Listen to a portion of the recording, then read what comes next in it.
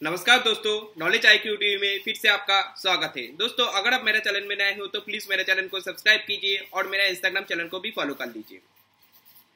दोस्तों IBA park ने IBA को एक चिट्ठी लिखा है group medical insurance scheme bank retirees for the year 2022-2023 दोस्तों आईबा पार्क और उसके साथ साथ ए बहुत सारे सर्कुलर लिख रहा है, बहुत सारे चिट्ठी लिख रहा है। लेकिन जब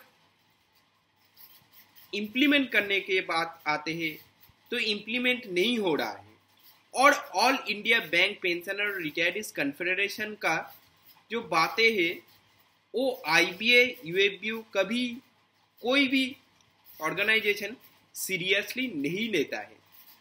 तो इसीलिए जनरल सेक्रेटरी आईबा पार्क को थोड़ा समझना चाहिए कि वो हमारे जो बातें हैं, उसको सीरियसली नहीं लेते हमारे वर्किंग यूनियन और आईबीए लेकिन पूरा मेहनत कर रहे हमारे आईबा पार्क इसमें जो लिखा गया है group medical insurance scheme bank retirees को लेके, इसमें पहले ही तो लिखा गया है जीएसटी को कम करना चाहिए और जीएसटी को बंद करना चाहिए। क्योंकि पहले ही पहले ही आईबा पार्क ने पहले साल भी बताया, लेकिन कोई भी ऑर्गेनाइजेशन इसको इम्प्लीमेंट नहीं किया उसके साथ साथ प्रीमियम कम होना चाहिए उसके साथ साथ जो डिमांड है as by government of India guidelines on staff welfare issued in the year 2012 the highest allotment may be 25 crores in the all bank expect SBI in the some cases.